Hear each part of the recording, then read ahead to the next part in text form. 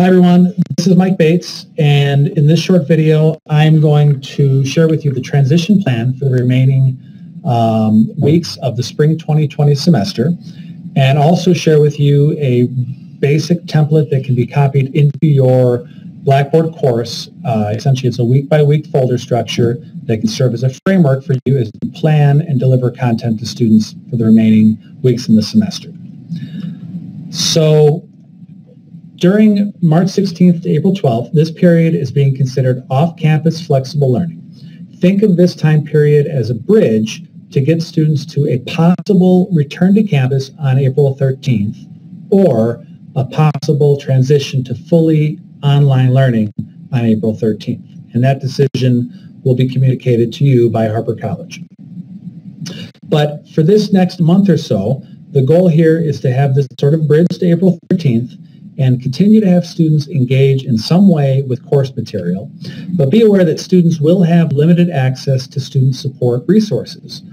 So because of that and because of everything that may be going on with them personally, we are asking that faculty practice flexibility with graded assessments.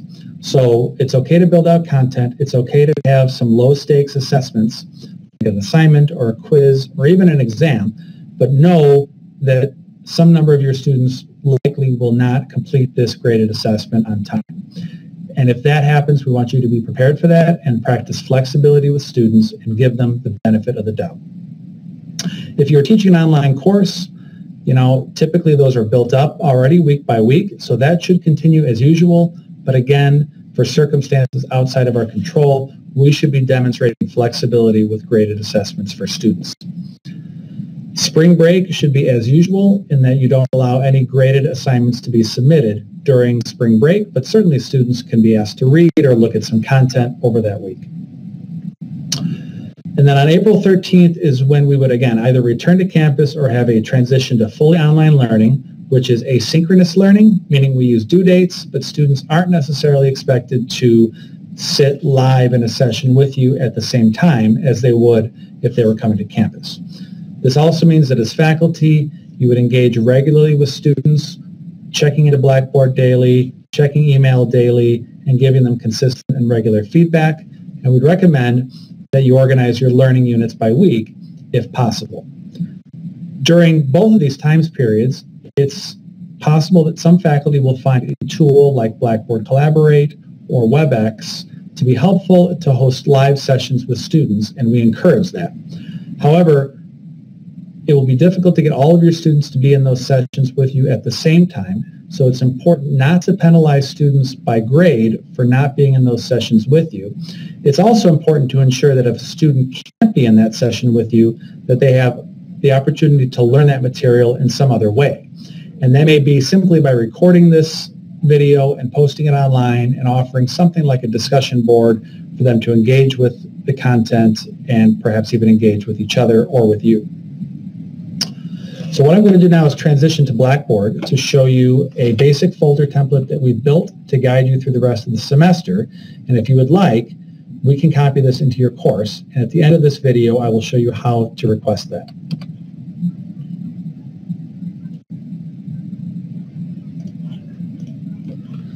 So I'd like to bring your attention over here to the course menu in Blackboard. And what's highlighted here is learning menu, learning modules spring 2020. So this is something we can copy into your course menu and it will show up as hidden as you can see by this square with the line through it. It's hidden from student, but you can see it and you can edit it. And it's a folder that will, that's called Materials for Our Class starting March 16th, 2020. When I click on this folder, you'll see first a tutorial for faculty, and this is only should only be visible to you. It's about a 19-minute tutorial walking you through how to build content using this folder template. After you've watched it and once you're ready to deploy the folder for students to engage with, you can delete this video by clicking the drop-down arrow and then delete. The first item, which is being highlighted here in purple, that your students would see is some kind of initial engagement with them. This could be as simple as a short note from you. It could also be a simple video message that you record. And we have another video and instruction guide on how to use Collaborate to record a short video. or it could be a discussion board. And early on during this transition, we encourage you to have some kind of basic communication with students. How are you doing? How has the last been, week been for you? Um, you know, what have you heard about Harper College? Those types of things, just to get them engaged with you and each other in the class. And if you can hook them back in early, they're more likely to continue and persist in the course. Next is a folder for the week of March 16th through March 22nd, activities and assignments for off-campus flexible learning. If I click into this folder, we have three basic items that we're recommending you include in your course. And of course, you can edit these or modify them as you see appropriate. The first would be any assigned reading or viewing you want them to do for the week. So these might be things like chapter readings if they have textbooks um, or other book readings that you would assign. These could be links to articles that you provide, YouTube videos, or publisher content. So this is typically the type of um, engagement with content you would have students do during a face-to-face class, either before or after they come to the class. Next is the section called Instructor Interpretation or Lecture on Content. The idea here is to provide some kind of engagement with your course material that they would get if they came to your class in person, face-to-face. So this could be as simple as written notes or an explanation of the key concepts from the readings or the viewing that week. It could also be a PowerPoint with voiceover that you record using Blackboard Collaborate, where you're really focusing in on the key content areas. And then we're recommending some kind of low-stakes assess assignment, something that's worth a few points, it's not going to really impact their grade negatively if they don't finish it or if they don't finish it on time. Something like a short reflection paper, a simple quiz on the material, or even a quick discussion board. So the idea is we're continuing to engage them with the content, really trying to bridge them to that full return either to campus or online on April 13th. If I go back to the, uh, the main folder, You'll see from March 23rd to 29th is spring break, so students really don't have expectations to submit anything during this week, and then the next two weeks continue this format of off-campus flexible learning. So if I go into either of those two folders, you'll see the same structure that I just walked through a moment ago. Moving on to the folders that are grayed out, these have not been yet made available. So when you click on this, you'll see a folder structure for fully online learning. This is a more robust learning experience for students that is fully asynchronous. So you'll see in the first item a module overview that includes a list of learning outcomes for the week, module activities, and module assignments. The idea being that if a student looks in this first purple item, they'll see everything that they need to know for that week in terms of what's expected from them. Then, for module activities, they can click into this folder and they can have access to the assigned readings or viewings and then anything that you create to highlight those key concepts like your lecture guide or a voiceover with PowerPoint or some other message that you want to communicate to students. Going back up a level, I can see module assignments. And so this is where you might have more of a discussion board, an assignment like a reflection paper or a quiz, and then a more high stakes quiz or test for that week.